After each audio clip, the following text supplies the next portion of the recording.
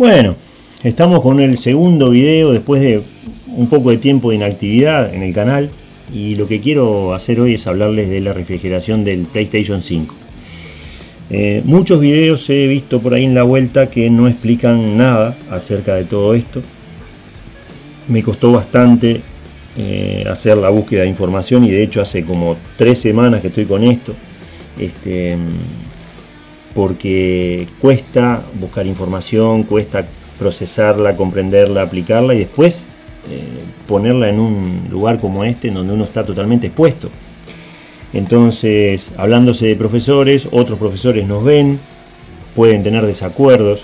Eh, hablándose de, este tipo de medios, bueno, hay gente que no, no son profesores, pero son entendidos y también tienen sus puntos de vista. Eh, hay técnicos, hay ingenieros, hay un montón de gente que es muy crack, muy capa en, este, todo esto. Este, bueno, y uno pone la cara este, desfachatadamente y con el fin siempre de eh, enseñar. Ah, el móvil es la enseñanza.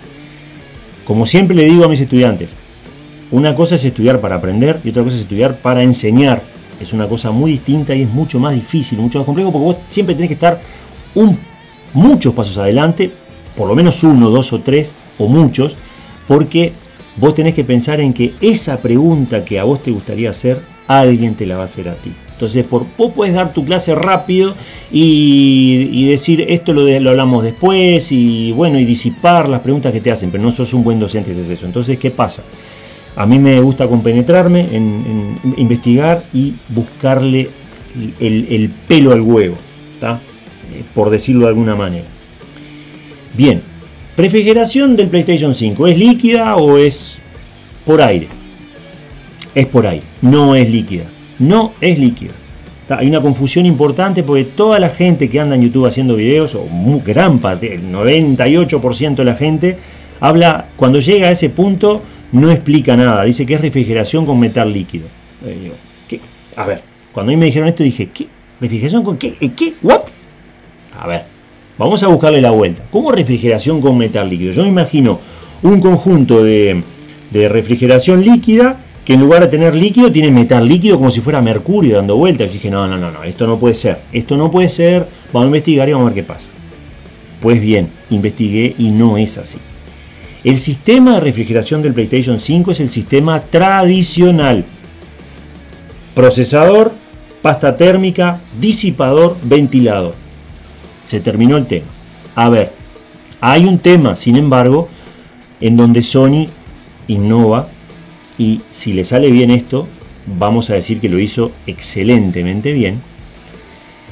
Y aquí es donde está la parte de metal líquido, que también es cierto eso, pero no es que es refrigeración por metal líquido, sí, sí, pero vamos aclarando, vamos aclarando. La refrigeración por metal líquido es sustituir la pasta térmica por metal líquido. Eso es lo que hace Sony la pasta térmica que va acá en un procesador. Este es un disipador muy polenta, es un disipador buenísimo, ¿está? Para procesadores AMD, ¿está? Procesadores específicamente Ryzen, ¿está? Esto va encima del procesador.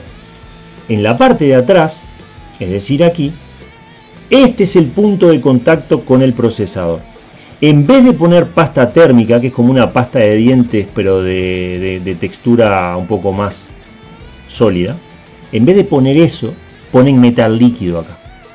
Y ustedes se estarán preguntando, pero ¿cómo hacen para poner metal líquido ahí? ¿Cómo se mantiene el metal líquido ahí? Bueno, esa es otra innovación de Sony, que lo que hace es como una especie de piscina de metal líquido encastrada en el procesador, de forma que el procesador no permita que eso salga hacia afuera. O sea que el componente que disipa el calor desde el procesador hacia el disipador, valga la redundancia, no es pasta térmica sino metal líquido. Ahí se terminó el misterio de los PlayStation 5.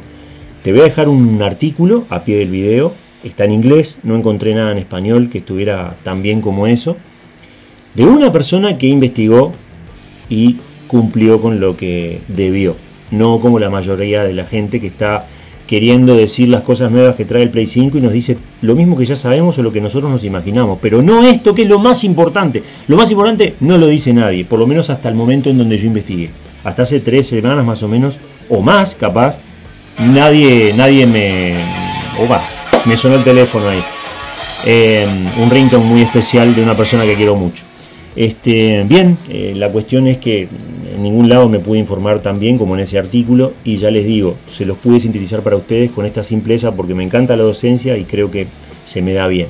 Así que bueno, vamos a ver cómo le sale a Sony esta innovación. Yo creo que va a andar muy bien porque Sony se animó a hacer un montón de cosas y todas le han salido bien realmente, por lo menos a nivel de consolas o la gran mayoría de cosas. Y para mí PlayStation es la mejor consola este, desde hace ya años. Y eso que yo me crié con el Atari, que me encanta esa consola. Eh, he conocido otras consolas de videojuegos, el TV Game y demás, y otras. Este, pero realmente hay que darle mérito a quien no merece. Al César lo que es del César. Bueno, gente, los veo en el próximo video. Chau, nos vemos.